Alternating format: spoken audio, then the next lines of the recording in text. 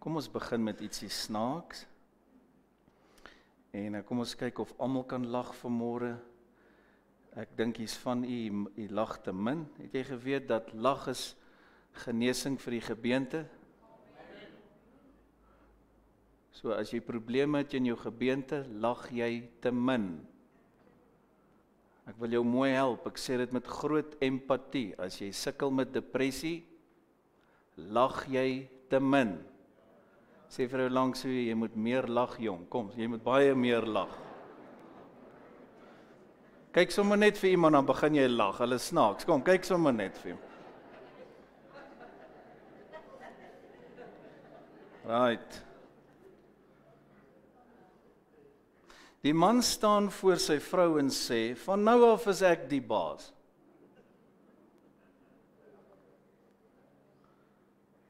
Ek wil 'n drie gang maaltyd hê elke dag saam met koek en met my koffie en ek soek nog snacks tussenin deur. Jy gaan my badwater lekker intap, my skeergoedjies regsit en jy gaan van nou af my klere elke keer uithaal. En raai wie gaan my aantrek en my hare mooi maak? En die vrou antwoord: "Af Bob."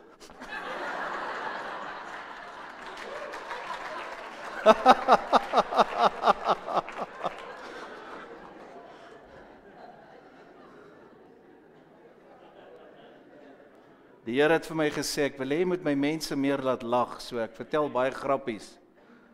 Want humor kom ons van die Here af. Wil julle nog een hoor? Hierdie gaan oor die mannetjies of die wyfies. So die boervrou kom in die kombuis en kry haar man met 'n vleepplak in die hand. "Wat doen jy?" vra sy. "Ek jag vlee," sê hy. "O, al enigiets doodgeslaan?"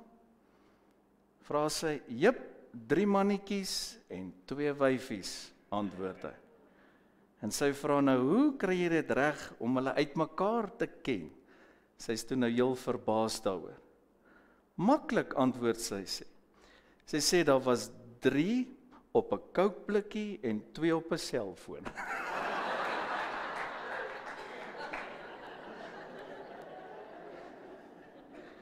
Kom aan, is lekker om te lag man. Goed, ons is by deel 6 in ons merkwaardige reeks oor om soos Jesus te wees. Maak gerus seker dat jy al die ander dele kry. En ons eer die Here vir sy wonderlike woord. 1 Johannes 4:17 asseblief. Kom ons trek weg en ons geniet die woord. En hierin het die liefde by ons volmaak geword dat ons vrymoedigheid kan hê in die oordeelsdag. Want soos hy is, dis Christus, is ons ook in hierdie wêreld.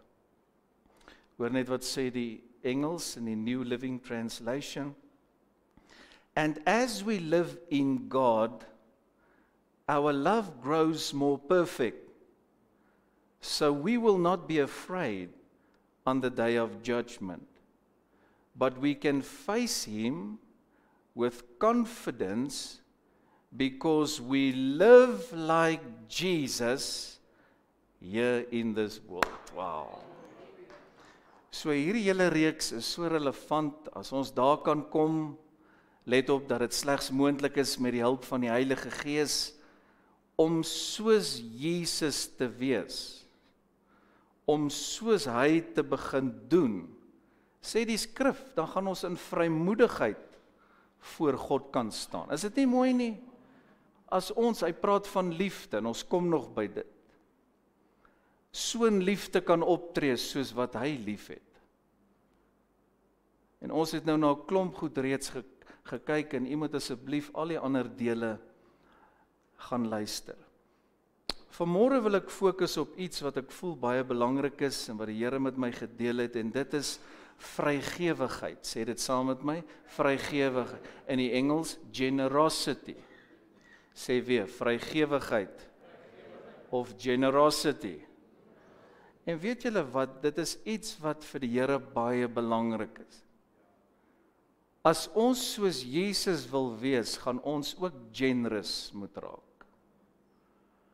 En ek weet, ek spreek nou 'n baie ernstige saak aan want een van die dinge waaroor pastore die meeste gekritiseer word, glo my nou, is wanneer hulle oor gee en voorspoed praat. En hoe dom moet jy wees en asemhaal om gee te wil kritiseer terwyl ons God 'n God van gee is. Ek sal dit waardeer as ek so 'n paar kry wat my kan ondersteun. Prys die Here. Alles wat die Here doen, kan jy opsom in gee. Alles. Ek daag jou uit en studie die Bybel soos ek. Jy weet behalwe die braai, die braai was maar net 'n klein deeltjie. Op 'n dag soos gister vat ek die woord and then I feed myself. I love the word. Ek vul myself met die woord. Jy kan nie iets gee vir die kerk as jy nie iets ontvang het nie. Ek is so vol van die woord. I love the word. Doen jouself 'n guns, jouself. En dan gaan studie jy die Bybel. Lees die Bybel met ander woorde gereeld deur. En dan kyk jy na al hierdie temas wat ek bedien. En dan sien jy hoe staan dit uit. Gee is een van hulle. Dis 'n tema wat jy kry van Genesis tot Openbaring. Jy kan nie oor God praat sonder om oor gee te praat. Een van die bekendste skrifte kom wat ons almal ken, help my, so lief het God die wêreld gehad dat hy sy enigsbore seun ge Wat sê die Bybel? Wat het hy gedoen? Ge gee. En dis sy wil dat ons soos hy sal wees. Ek wil op niemand se tone trap nie, maar as dit nodig is, dan gaan ek so 'n bietjie daar staan. As jy iemand is wat gee, kritiseer of kom ek draai dit om. As jy iemand is wat synig is in daai konteks, is jy nog nie soos Jesus nie. As ek oor my Jesus praat vanmôre, dan kry ek trane in my oë want alles wat ek het, kom nou kerk, het hy vir my gegee. Alles wat ek is, het hy my gemaak. He is a giving God. Can you say amen? God always gives. Hoekom dink jy word voorspoed aangeval? Ek wil hê jy moet eers bietjie dink. Laat dit vir jou revelation word. Hoekom dink jy word gee aangeval? Dink want Satan sit agter dit. Hy wil so graag die kerk arm hou. Luister, ons kom uit daar was jare gewees waar waar kerke en pastore gekripeer het van armoede en hulle het gedink dis heilig. En dit sê ek met groot liefde. En baie van hulle het gedink hulle doen goed want dis so hulle groot geword het. Daar was nie teaching nie in in in besonder in daai dae miskien of genoeg soos vandag of genoeg revelation oor hierdie goede nie. Maar ek wil dit baie duidelik stel dat ek jou kan vrymaak. Armoede is nie 'n blessing nie. Moet ek dit weer sê? Van hier so stil. Armoede is nie 'n blessing nie. Let op, ons is lief vir die armes, sê amen. Maar dit is nie God se wil dat jy moet krepeer en arm wees nie. Want Jesus sê ek het gekom dat jy kan lewe en ook in oorvloed lewe. Nou kry ons ouens wat preek en hulle praat net van geestelike oor. Nee. Die hele konteks in Johannes 10 is die herder en die skape. Die herder wat sy skape lei na hierdie groener weivelde toe. Natuurlik wil die Here nommer 1 hê ons moet geestelik oorvloedig wees. Amen. Want ons glo in die skrif, soek eers, help my, die koninkryk van God en sy geregtigheid. Natuurlik. En in hierdie kerk hoor jy absoluut dit. Jesus kom eerste. Hierdie hele reeks gaan daaroor om soos hy te wees. Nee, wat wat wat help dat jy het geld mee gaan help toe? Hm? Wat het Jesus gesê? Wat baat dit 'n mens jy win die hele wêreld maar jy ly skade aan jou? So ons soek natuurlik God se koninkryk eerste. So kry daai balans reg. Maar dit beteken nie, hier kom dit nou, dat ons nie oor gee moet praat nie. Dat ons nie oor voorspoed moet praat nie. So die ouens wat heeltyd pastore en predikers aanval hieroor, is juis hulle wat se hande toe is. Want iemand wat graag gee, gaan so gaan die prediking en teaching aanmoedig en sê natuurlik, dis vir God se werk. Ons wil sien dat dit goed gaan. Kom nou met die werk van die Here. Ons wil sien dat siele gered word. Amen. Ons wil sien dat die kerk en die kinders van die Here geseën sal wees ook finansiëel. En vanmôre as ek oor vrygewigheid praat, gaan ek vir jou wys, dis nie net geld nie, maar geld is deel daarvan want ons kan tog nie oor generosity praat sonder om oor geld te praat nie. Het julle agtergekom ons is nog in 'n stelsel in hierdie lewe waar ons geld nodig het. you can't be so heavenly minded that you are earthly no good. En ek bemoedig dit aan dat jy heavenly minded word. Kom nou. Bedink die dinge wat daar bo is. Hey vriend, die woord van die Here is in jou pastoor maar ek moet vir jou die volle raad bring. Amen, die hele waarheid. En vrygewigheid, sê weer, vrygewigheid. Kom aan, sê dit, vrygewigheid is 'n tema wat reg deur die skrif loop. Ek daag jou uit om dit self te gaan studie. Van die begin af. As ons oor die skepping moet praat net vir 'n oomblik. Dankie Heilige Gees. Dan sien jy hierdie wonderlike God wat so fenomenaal is, die beste kunstenaar wat daar is. Ek meen daar's niemand soos hy nie, maar dit praat van vrygewigheid. Die manier hoe hy alles gemaak het. As jy net dink aan die natuur, kom nou die voeltjies. Hoeveel van julle geniet die voeltjies daar by julle huis en en die kleure en die geluide. Kom aan, hier's 'n klomp van ons mense, jy's lief vir die bos en vir die veld en vir die see. Hy het dit alles gemaak met vrygewigheid. Kom nou, sodat ons dit kan geniet. Dis wie hy is. En hy sê, "Heers daaroor." En nou kry party Christene hulle synig. Dis nie hoe Jesus lyk nie. Veg voorspoed. Nee man. Sies vir jou man, jy wat dit doen. Nooit kan 'n ou dit doen nie. Voorspoed is nie net geld nie, geld is deel van voorspoed. Voorspoed vir môre, laat ek dit vir jou oopmaak, is om gesond te wees. Prys die Here. Geliefde, ek wens dat dit met jou in alles goed sal gaan en dat jy gesond sal wees soos wat dit met jou siel goed gaan. Dis God se wil dat ons na gees, siel en liggaam voorspoedig sal wees. Dis alles deel van die evangelie. En is die wil van die Here dat sy mense net soos hy sal wees.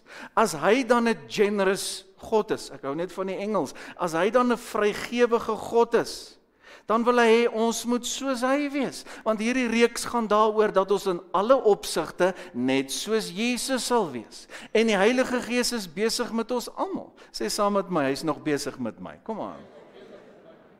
So werk hy die vrug van die Gees in ons. En jy's ons het oor soveel goed gepraat, kan julle dit onthou? Kom ek gaan net jou geheue verfris. Ons het gepraat oor nederigheid. Kyk net so 'n bietjie daar af. Nederigheid. Om net soos Jesus nederig te kan wees. Ons het gepraat oor vergifnis. Ons het gepraat oor geloof. Hallo. Daarbo. Ons het gepraat oor gebed. Ons het gepraat oor gehoorsaamheid en vanmôre wil ek net so 'n bietjie praat oor gee, vrygewigheid. Hierdie woord gaan jou denke was, dit gaan jou denke verander. Jy gaan anders begin kyk daarna. Want alles wat die Here doen elke dag is deel van gee. Kan jy nou dink die Here moet sy hand vir een oomblik afhaal van ons? Weet jy wat gaan gebeur? Dan sterf ons. Vat 'n oomblik sê Here, moet net nie hand van my afval van my en my familie nie asseblief. Dis wie hy is. Hy's 'n God wat gee. En vriende, hoe bid ek dat daar 'n kan ek dit so uitdruk, 'n gees van vrygewigheid. Dankie Heilige Gees. A spirit of generosity sal losbreek onder ons mense. Dat dit vir jou lekker sal wees om te gee. En ek praat nie eens nou net van tiende nie. Tiende is nie opsioneel nie, liewe vriend. Tiende is 10% van jou inkomste. Na jy die Here se tiende gebring het, dan begin jy eers saai. Dit vir jou lekker wees om te saai. Hoekom struikel jy nog oor hierdie goed? Jy wat dit wel doen, terwyl dit net God se skrif is, sy woord is. As hy nie moes gee nie, was ons vanmôre nie hier nie. Dink daaraan. Maar hy's altyd besig om te gee. En vanmôre bid ek Heilige Gees kom en verander ons harte en verander ons denkwyse. Our mindsets when it comes to generosity. Wanneer dit kom by gee. Kyk gou-gou wat sê Handelinge 20:35 en die Here Jesus word aangehaal. Ek het julle in alles getoon dat ons deur so te arbei die swakkes moet help. En die woorde van die Here Jesus moet onthou. Kyk daar. Wat het hy gesê? Dit is saliger om te gee as om te ontvang. As jy hierdie woord kan ontvang vanmôre, luister wat jou pastoor vir jou sê, gaan jou lewe verander. Sê saam met my, dis saliger om te gee as om te ontvang. Almal saam. Dis saliger om te gee as om te ontvang. Let op, hy haal die Here Jesus aan. Moenie die woorde van Jesus vergeet dat hy gesê het: "Dis saliger om te gee as om te ontvang." Dink net gou vir 'n oomblik, so lief het God die wêreld gehad dat hy Jesus gegee het. Jesus was bereid om sy hemelheerlikheid te verlaat om 'n mens te word. Vriende, dis te groot vir ons brein om te verstaan. Dis deel van die evangelie. Die evangelie woord beteken goeie nuus dat Jesus as God sy hemelheerlikheid verlaat het en 'n mens geword het. Kyk hier, uit 'n vrou gebore moes word. Hy wat skepper is, hy wat God is. Johannes sê niks het ontstaan sonder Jesus nie.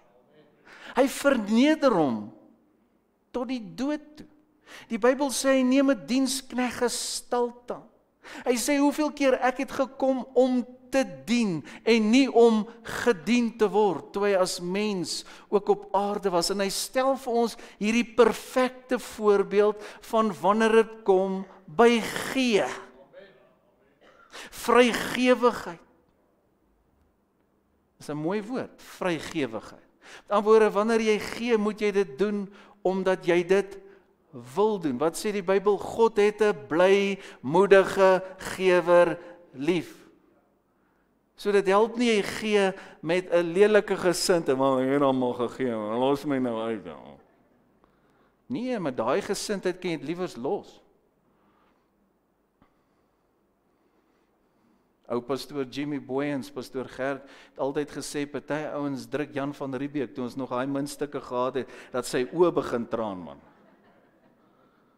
Maar nou nou as hy uitry en by KFC stop of by die Spar, dan gebruik hy nie meer vir Jan van Riebeeck nie, dan haal hy die groot kanonne uit. Ekskuus, maar ek praat die waarheid. Hoekom het mense so gesindheid in die kerk wanneer dit kom by gee? Dank God vir al ons gewers en oop hande en oop harte. Op die einde van die dag gaan jy maai wat jy saai.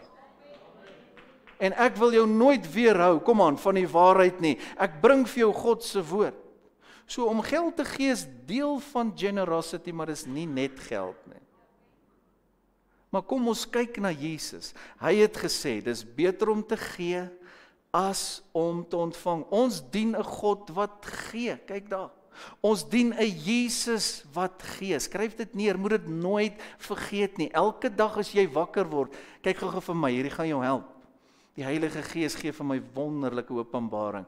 Is dit 'n nuwe dag wat die Here ge Kom aan, kry dit. Dis hy wat gee. He loves to give. En in hierdie reeks sê die Here vir ons, ek wil hê julle moet soos ek wees. Here het met my gepraat. Wat 'n fenominale reeks. Leer my mense om soos ek te wees. En dit is net die Heilige Gees wat ons kan help om net soos Jesus te wees. Maar vrygewigheid moet deel raak van ons make-up. Almal het nie dieselfde talente nie. Dank God daarvoor. Almal van ons lyk nie dieselfde nie. Dank God daarvoor. Is jy bly daaroor? Regtig? Verstaan jy dat jy uniek is? Verstaan jy dat jy sekere talente het? Kom aan, reageer 'n bietjie wat ander nie noodwendig het nie. En daarom moet jy nooit jaloers wees op iemand anders nie, want jy's uniek. Amen. Iemand wat jaloers is, lyk nie soos Jesus nie. 'n Kind van God is nie jaloers nie. Jaloesie is 'n lelike ding. Dis 'n vieslike ding. Want iemand wat jaloers is, sê by implikasie, hy of sy weet nie wie hy is in Christus nie. Hoekom gaan jy jaloers wees op iemand anders? Jy's dan uniek. Prys die Here. Kom, sê gou vir iemand naby jou, ek is so bly ek is nie soos jy nie. Kom, sê dit vir iemand. Ons is almal uniek. En almal het gawes en almal het talente.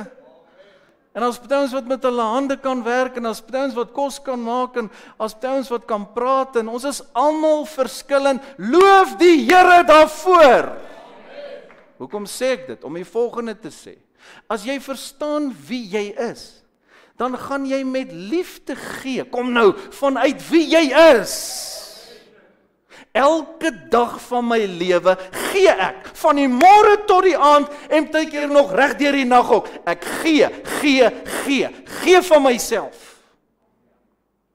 Dis vrygewigheid. Nie net geld nie. Ek wil iets kragtigs leer vanmôre. Skryf dit neer.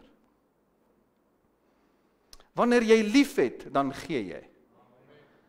Kyk, ek gooi vir jou daar op die bord. Skryf dit neer. Sê dit saam met my. Wanneer jy liefhet, dan gee jy. Ek daag jou uit om jouself te toets. As jy so vinnig sê jy's lief vir die kerk, gee jy? Ooh, nou raak dit stil in hierdie presbiteriaanse kerk. As jy lief is vir Jesus, gee vir hom. Ek het vir jou gewys toe ons oor gehoorsaamheid gepraat het. Hy het gesê, as jy my liefhet, dan sal jy my gehoorsaam. Let op dis sy woorde. Die volgende skrif het hy gesê, as jy nie vir my lief is nie, kyk gou hier, dan is jy nie gehoorsaam aan my nie. Dis Jesus. Hm?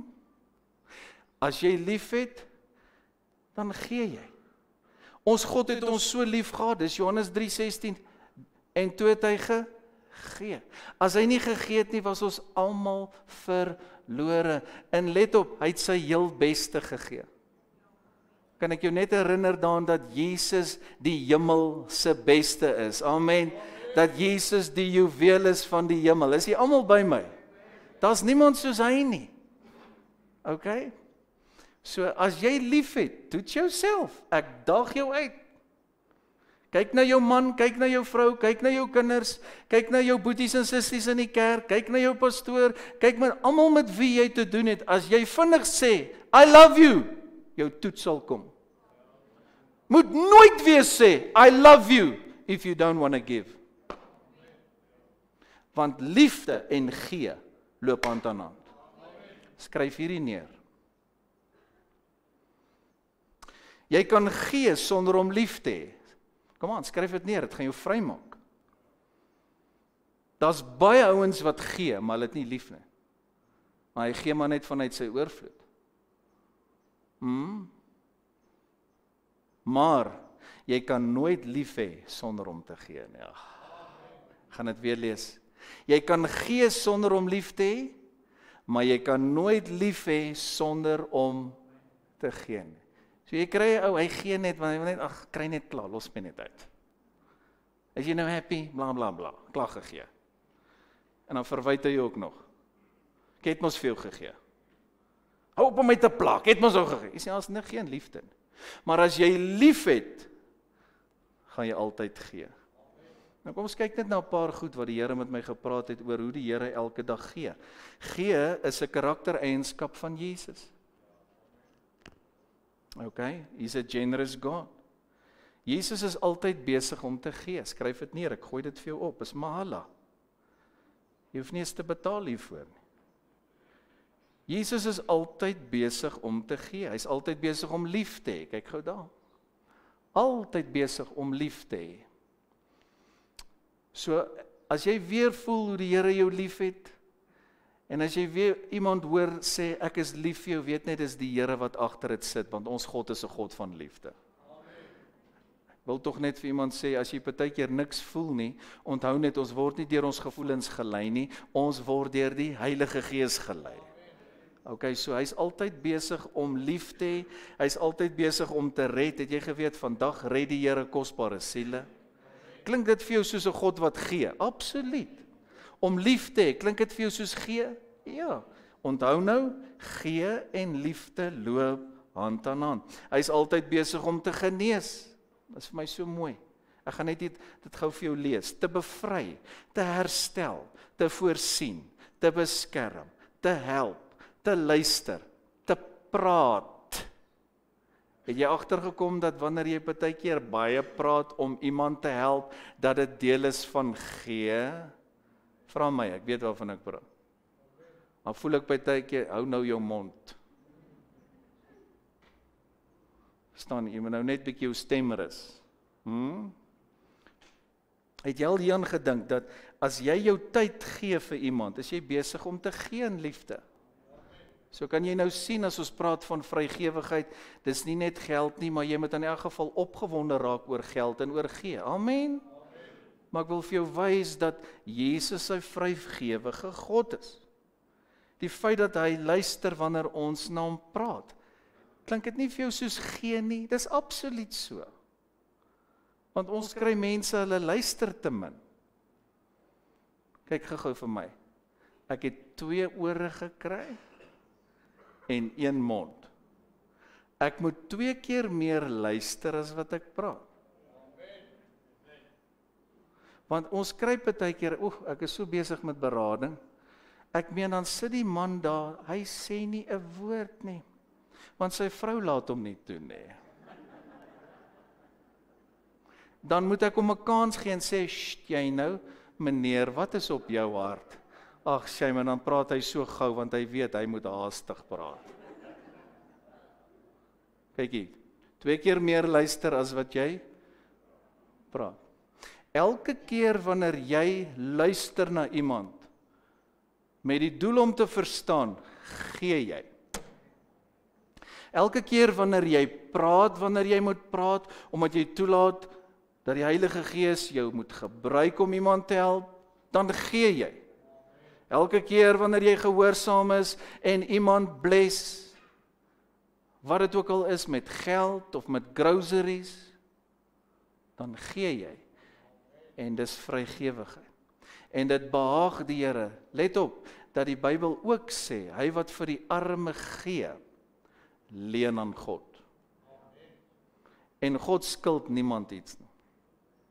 So wees asseblief versigtig en ek weet ek sê dit baie maar as heeltyd 'n invloed van nuwe mense leer asseblief moet nooit jou mond lelik uitspoel teenoor iemand wat jy nie ken nie. En hy bedel en hy staan met so 'n bord en jy sê allerlei lelike goed dis nie jou plek nie. Sodra jy iemand begin veroordeel, stel jy jouself aan as 'n regter.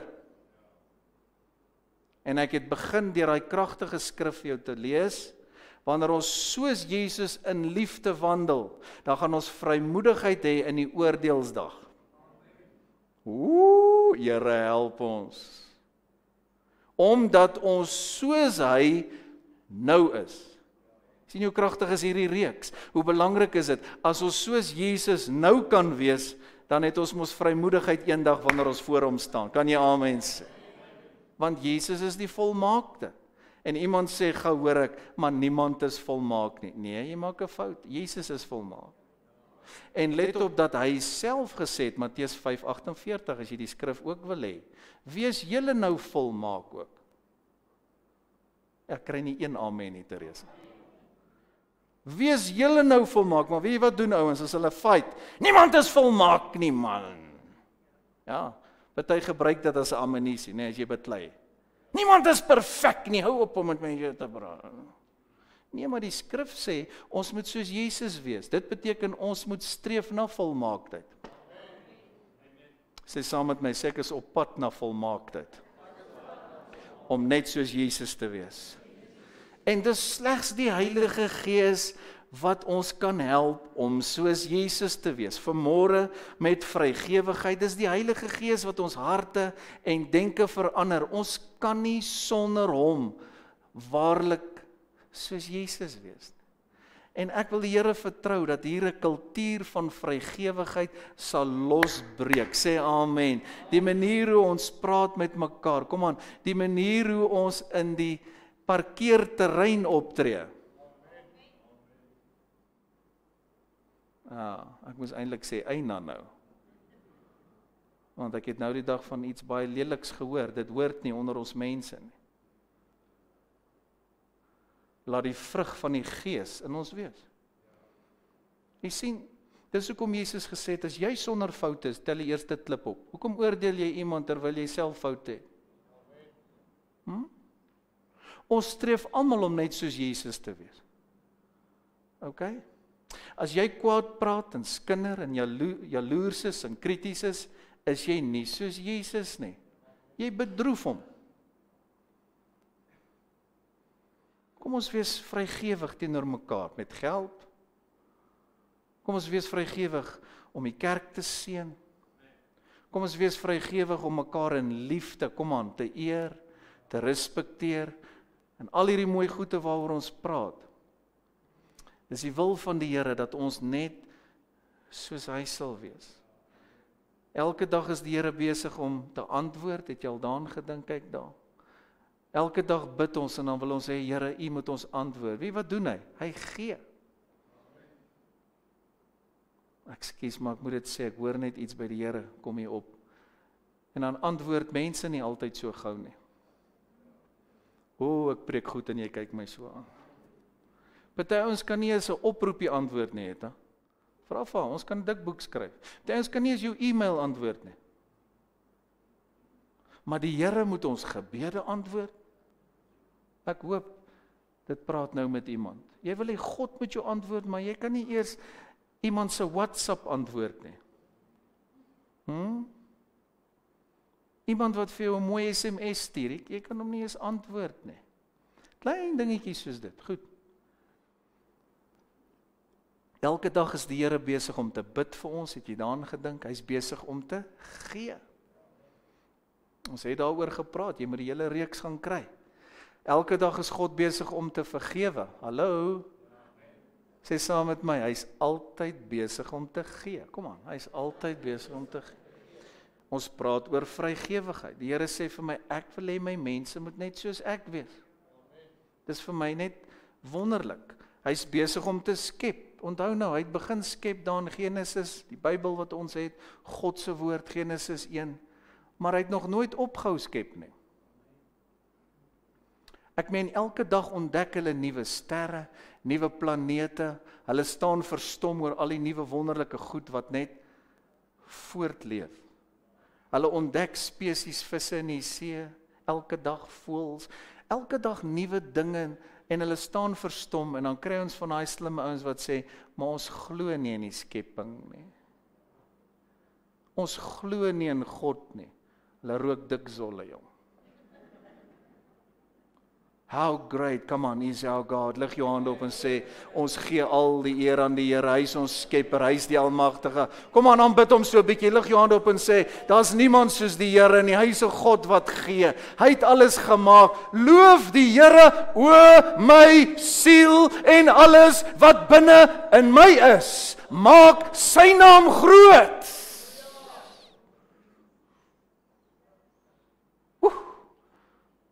Slaan die salwing my nou. Hy gee. Jy kan dalk nog 'n paar goed daarby skryf. Geniet jy die woord. Elke dag gee hy. As jy jou oogies oopmaak in die môre, weet net hy het weer gegee. Come on, his mercies are new every morning. Another new day, another new beginning. The sun came up, hallelujah. Another breath that I can take, another heartbeat. God is always giving. Hoekom is dit so dat party mense nie graag wil gee nie, maar hulle wil altyd ontvang? Ek kan daar's soveel sulke mense wat ons ken. Gee, gee, gee, gee, gee en is met groot liefde. Maar hulle gee nooit nie. Dis hoekom party arm dood sal gaan. Nie my stenig nie, ek preek die waarheid, want jy gaan dit wat jy saai, gaan jy maai. Kom ons sluit af. 2 Korintiërs 8 asseblief. Maar soos julle in alles oorvloedig is in geloof asseblief, jy moet hierdie onderstreep, dis so kragtig.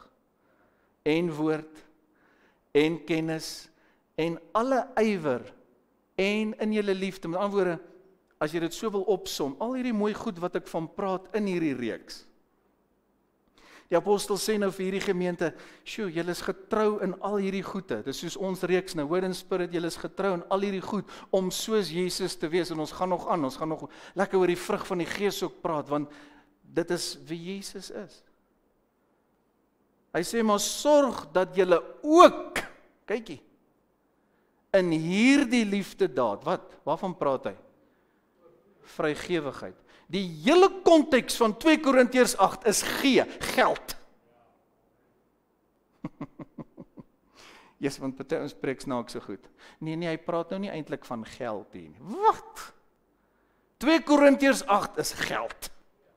Dankie dat julle my ondersteun, sê die apostel. Dankie dat julle getrou is in al hierdie goeie, maar ek wil ek wil van julle nog aanmoedig dat julle ook in vrygewigheid. Die engel sê generosity dat jy ook daar sal kom om getrou in dit te wees. My hart huil vanmôre oor pastore. En ek het 'n groot empatie. Ek bedien al hoe meer pastore. Hulle kom van waar om my te sien en praat met my. Net die week wat verby is toe of wat toe was ons streek se pastore hier by ons kerk gewees. Weet julle hoeveel pastore kripeer vandag? Sê dit met die grootste empatie en liefde omdat ek uit geslagte van predikers kom. Ek het 'n hart vir pastore ook en hulle gesinne. Kerke wat kripeer omdat mense nie vrygewig is nie. Omdat mense synig is. Dit hoort nie onder kinders van God nie. Ons gebed is Heilige Gees, ons wil soos Jesus wees ook in vrygewigheid ook in generosity. Kom ons lees die amplified please. Oh i love the amplified net 'n bietjie onder toe kyk daar. But just as you excel in everything check this out and lead the way in faith in speech in knowledge in genuine concern check that out. Is dit nie mooi nie? Wanneer jy omgee vir iemand Kom, sê vir jou langs aan jou, ek gee om vir jou. Kom, laat hy dit hoor, laat sy dit hoor. In genuine concern and in your love for us. Jackie, see that you excel in the gracious work of giving also. Want dis hoe Jesus lyk. Hy's altyd besig om te gee. Ek dink nou aan 'n storie op 'n stadium moes hy en Petrus gaan belasting betaal. Ag, Here help ons. Want hier's paterns hulle wil nie belasting betaal nie. Pas op, as jy die wet oortree, gaan daar met jou gedeel word. Ek gee nie om wie jy is nie. Maar ek voel tog om vir iemand te sê, party ons betaal belasting, maar hulle betaal nie die Here se tiende nie. So dit sê vir my vrees die keiser meer as wat hy God vrees. Terwyl ons God meer moet vrees as die keiser. Hier's baie ouens, hy, hy sal nie waag om nie sy huur te betaal nie, want dan het hy nie 'n blyplek nie. Maar die 10de, mm, nee wat, is nie prioriteit nie, terwyl die 10de van die Here prioriteit moet wees, heel bo. Want daardeur sê ons Here, U kom eerste. Jesus kom eerste. So wat hy sê, you have to excel also in the gracious work of giving. Hoor wat sê die passion asseblief. You do well and I want to say this this morning to word and spirit. You do well and excel in every respect. Check this out. In unstoppable faith, in powerful preaching, in revelation knowledge, in your passionate devotion. Woo, this is good. And in sharing the love we have shown to you. So make sure that you also excel in grace filled generosity.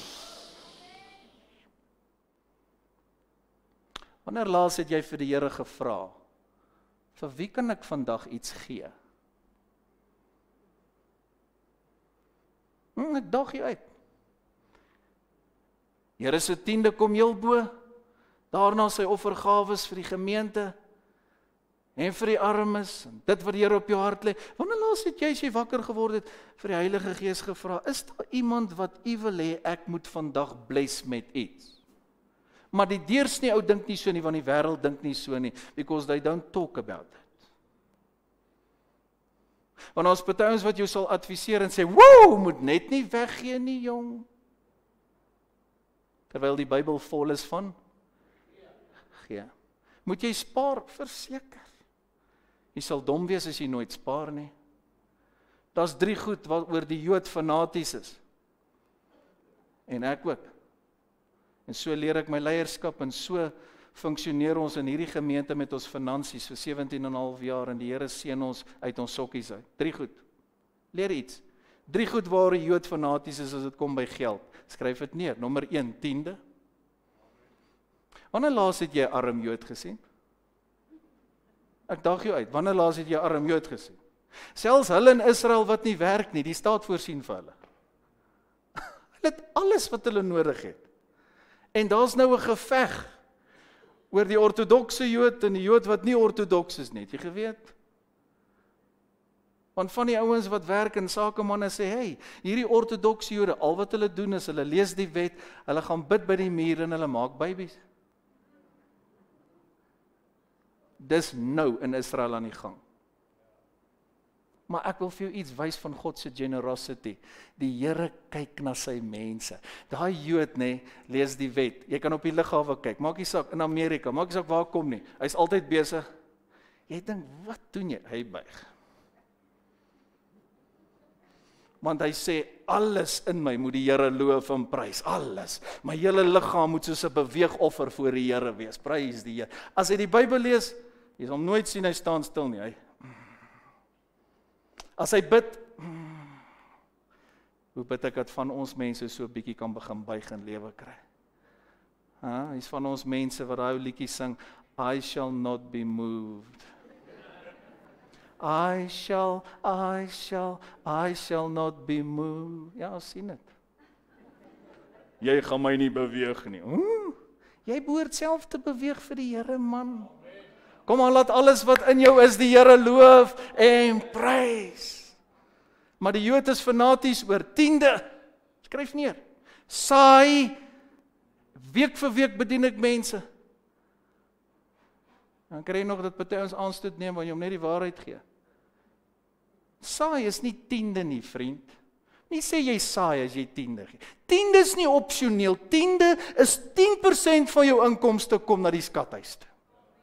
Daarna begin jy saai. Die Here lê op jou hart om 1000 te gee of 10000 of 100000. Ons wag vir daai multimiljonêre 100.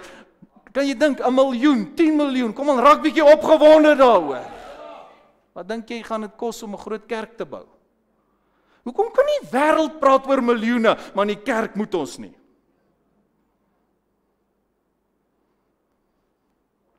Die Here wil mense vrymaak. En die derde ding is spaar. Tiende, saai, spaar. Sê dit saam met my. Tiende, saai, spaar. Sê dit weer. Tiende, saai, spaar. Die Jood sê net soos wat jy 10% vir God gee, leer iets. Gee vir jouself ook 10%. En jy sit dit weg. Jy wil graag op 'n lekker vakansie gaan, maar jy het niks nie. Leer om te spaar. Oor 'n jaar sê jy, "My heerlikheid, kyk hoeveel het ek nou in my rekening." Bybelse beginsels. Kom aan, geniet julle die woord van die Here. So ek sluit af. Vrygewigheid is deel van Jesus. Jy gaan nie vir my sê, kom aan. Jy gaan nie vir 'n engel sê. Imagine 'n engel verskyn in jou en sê, hey, "Sê bietjie vir my, is Jesus regtig vrygewig?" Ha. Die engele val neer. As niemand soos hy nie. Ek meen hy het sy lewe gegee. Kom aan, sy bloed was uitgestort. Elke dag is hy besig om te gee. Kom ons wees soos hy. Net terug na die belasting toe. Petrus, gaan vang gou-gou vis daar. Hæ? Huh? Ja, gou-gou. In die eerste vis wat opkom, jy sal sien daar's geld in sy bek. Vat daai geld. Dit gaan genoeg wees vir jou en vir my se belasting. So tot Jesus het belasting betaal. Ek profeteer dat daai visse is op pad na jou toe. Kom aan, haleluja. Prys die Here. Maar daai visse gaan net kom as jy iemand is wat vrygewig is. Kom aan, wat jy saai, gaan jy maai. Moenie vir my weer sê jy wag vir jou skip nie. Moet as 'n mense sê vir my pastoor as my skip kom, dan bless ek die kerk. Wat 'n skip? Jy gaan lank wag vir 'n skip. Die Bybel praat van saai. Die Bybel praat van maai. Begin saai en dan gaan jy sien hoe gaan jy maai en dan kan jy die werk van die Here sien. Hm? Moenie weer goed sê soos nee, as ek as ek 'n klomp geld gaan kry, dan gaan ek gee, want jy gaan nie. Want jy kan nie nou eers gee met die bietjie dalk wat hy vir jou gegee het. Dis nou net vir hulle wat se hande toe is. Maak oop jou hand. Kom aan, manifesteer. Maak oop jou hand. Sê Here, ek ontvang alles wat U vir my het. Alles. As jy oop hand het teenoor sy werk en jy saai graag, dan gaan jou hand ook oop wees om te ontvang dit wat hy in jou hand wil sit. Amen. Is jy gereed om te ontvang? Jy sien, sodra ek oor blessing praat, dan's almal opgewonde. Ah, my vrou sê sy ondersteun my so saggies nou, maar sy wys ja, is so want sy weet goede waarmee ek deel aan mekaar. Maar as ons praat oor verantwoordelikhede, dan raak mense stil. Kom aan, wees net lief vir jou pastoor. Praat ek die waarheid? Hoekom is dit so? Want party sê net ek weet nie. En dan hoor jy hoe manifesteer hulle. Wil jy nie God met jou besigheid begin seën nie? Boonatuurlik. Hm? Kom aan, hier's 'n bonatuurlike salwing in hierdie huis. Sê amen. Hier's 'n oop hemel. Al wat jy moet doen, jy moet in dit instap. En vanmôre sê ons, Here, ons wil net soos U wees. Ons wil vinnig vergewe, ons wil vinnig lief hê. Ons wil bid, kom aan na hele lys. Ons wil die vrug van die Gees openbaar. Amen. Ons wil vriendelik wees, ons wil ons lig laat skyn. Ons wil mense help net waar ons kom. Ons leef nou in 'n tyd waar waar dit nie meer so gewild is soos jare terug nie. Jare terug het bure mekaar nog geken. As 'n ou langs die kar langs die pad gestap het met 'n papwiel,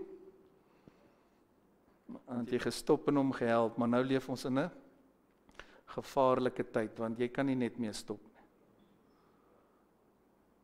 Ek leer my vrou, ons ons is ouens wat baie ry in en uit in en uit ry ry ry. Jy stop nêrens nie en in die nag stop jy nêrens.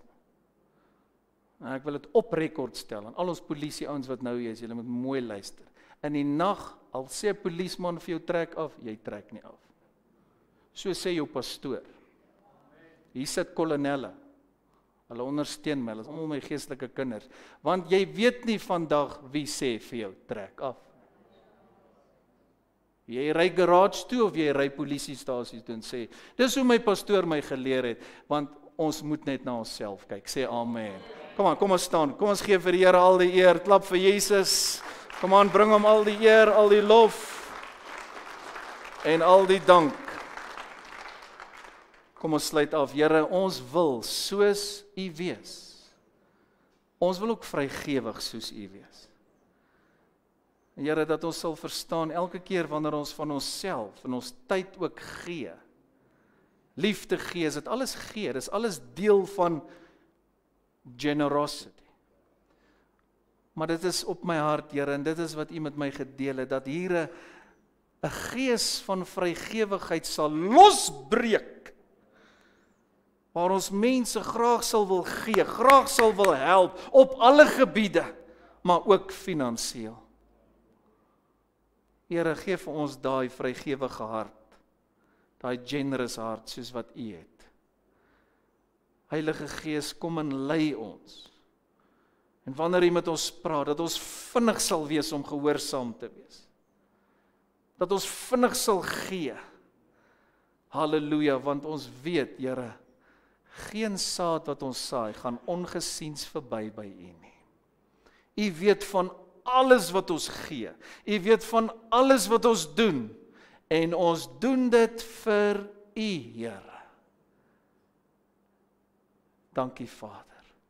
Dankie dat ons vrymoedigheid kan hê in die oordeelsdag. Ek sluit af met die skrif waarmee ons begin het. Here, dis u woord, dis u wil. Wanneer ons soos Jesus leef nou op aarde. En dis my gebed, Here, mag ons almal net soos Jesus wees. Amen.